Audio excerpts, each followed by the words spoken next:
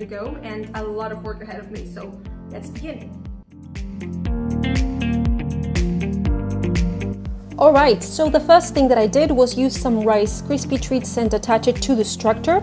I used it to make the lower part of the body nice and round, the upper part of the legs and also the tail and the head, because in this proportions, the scale, the tail and the head were sort of small to be made out of cake, so I went with Rice Krispie Treats instead as it's still edible and lightweight.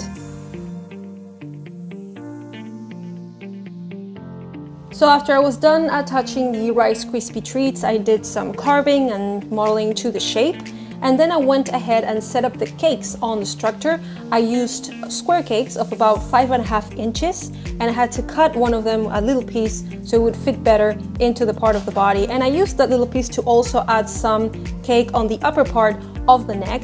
And as you can see, the top layer of my cakes is really tall. It's like the thickest layer because the top part of the cake is the one that is going to get the most carving. I'm to have to carve the top to shape the body of the dinosaur.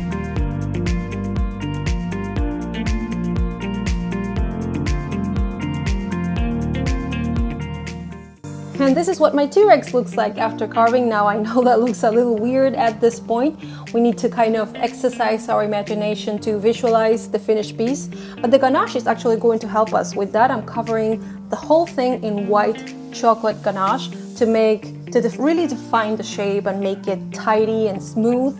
And I'm using a ganache that is really high chocolate proportion. It's four parts chocolate, only one part cream. And I like to work with a ganache that really hardens, especially so I can work on the cake with the fondant and also for transporting it. It just makes the whole thing a lot sturdier.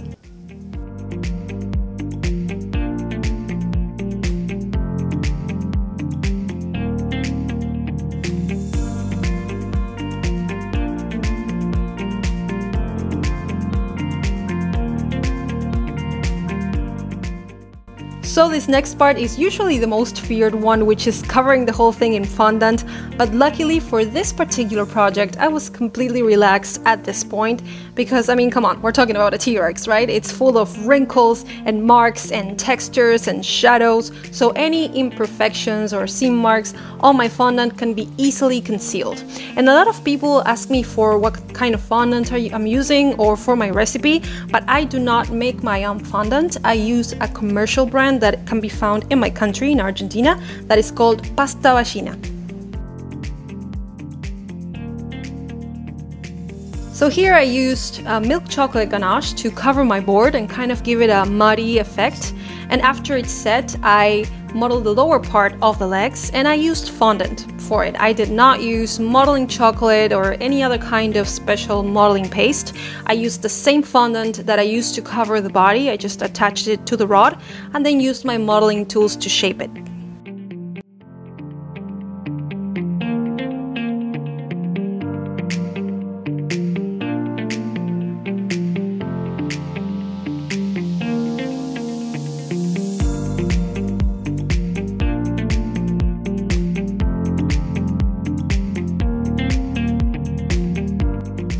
Then I moved a little further up where I used some wire to give support to the arms, which I also modeled in fondant.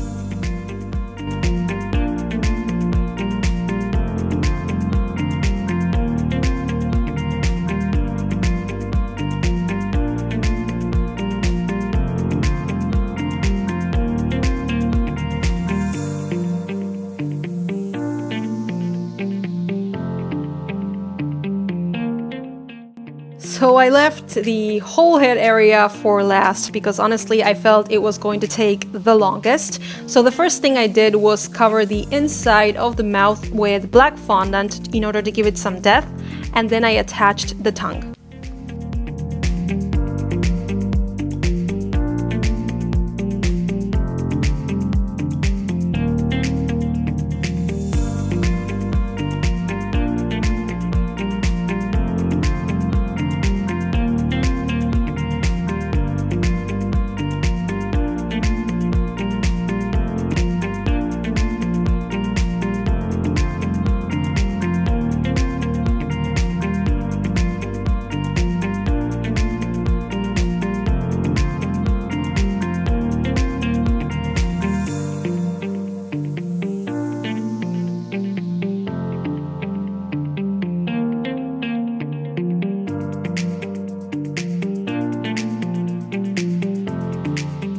Now for the building of the head, I really had to start look up a lot of pictures of the dinosaur on the internet and kind of observe the anatomy.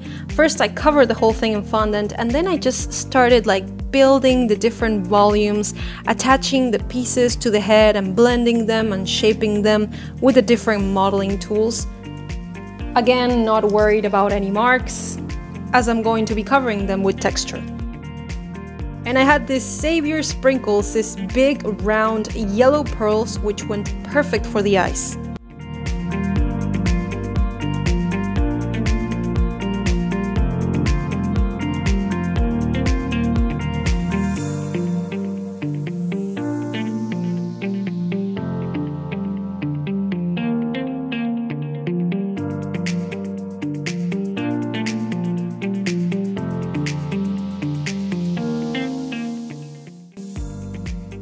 So at this point I was done building the dinosaur. It was all shaped and modeled. So now I have to bring it to life and I'm going to do that with texture and color.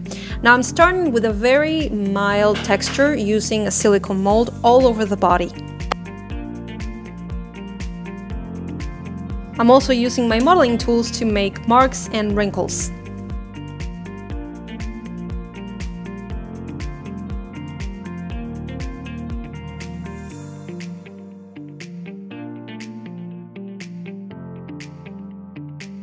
For a more defined texture of the head and the face, I'm going to be using different shapes and sizes of piping tips and straws. Now the texture helps, but when we really see it come to life is when we add the color. And the first layer of color that I'm adding is a very diluted, very light brown, which you may find odd and said, hey, why brown? Well, I want the brown to really get into those creases and texture marks, but just give it a minute and see how great the contrast looks when the green comes in.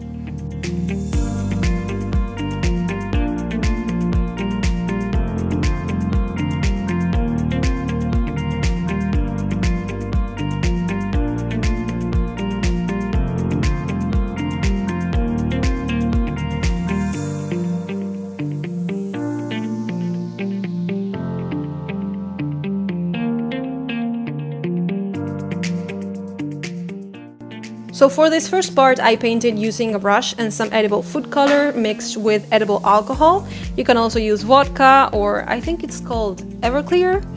Um, and then I finished using my airbrush and some other shades of green and some shadows with black.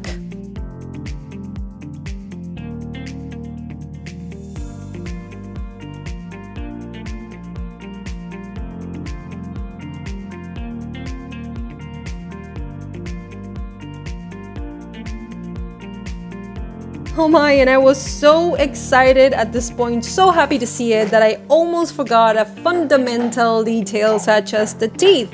So I added it one by one, fondant teeth.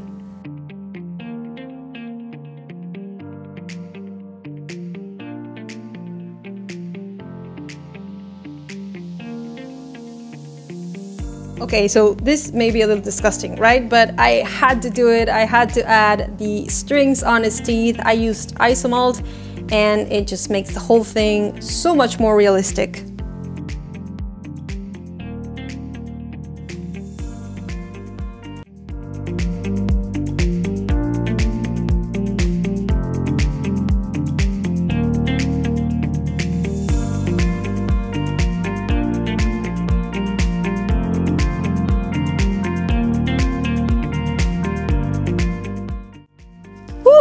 That was two days of really hard work and that's a wrap, but I'm so excited. I loved how it turned out. I hope you like it too, and I hope you enjoyed seeing the process. Make sure to follow me on Instagram at Lucia Loro Thank you for watching and stay tuned for my next video.